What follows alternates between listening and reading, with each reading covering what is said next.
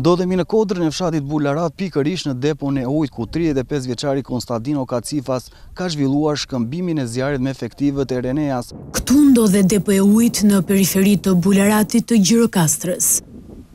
Ekstremisti minoritar Konstantinos Kaçifa u pozicionua pikërisht në këtë vend në përballje me armë zjarri me forcat Renea. Pas më shumë se dy orësh përpjekje nga ana e policisë për dorëzim, në një nga shkëmbimet e zjarrit ai u vra po këtu.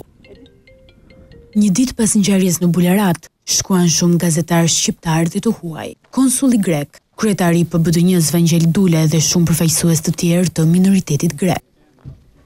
Dëshiroj që të theksojmë thirrjen tonë për gjakftohtësi, por në të njëjtën kohë të demonstrojmë vendosmëri se kjo çështje duhet zbardhur në të gjithat detajet e saj me gjithë transparencën e mundshme. Ka shumë pikëpyetje që e bëjnë atë edhe më delikate. Si nisi konflikti? Dhe nga u provokua? mbetet ende pa përgjigje. Shumë banorë të fshatit nuk duan të flasin për atë që ndodhi, por ka edhe prej tyre që thonë se tridhjetë e pesë vjeçari duhet të kapej dhe jo të vritej. Nuk mund të vritej, ishte njeri, nuk ishte kafshë.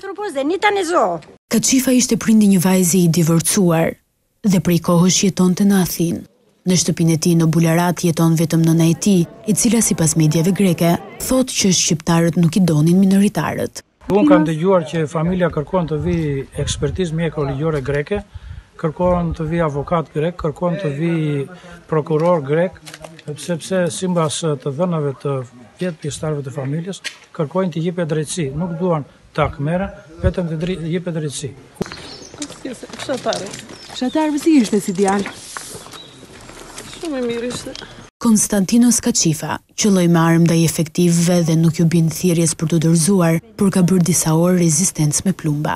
Incidenti nisi paraditen e së dielës, pak minuta përpara se në këtë zonë të zhvillohej ceremonia e festës kombëtare e Greqisë, Ndërsa ndjekja e policisë vazhdoi deri në orën pesëmbëdhjetë e tridhjetë minuta, ku policia njoftoi për vrasjen e tridhjetë e pesë vjeçarit.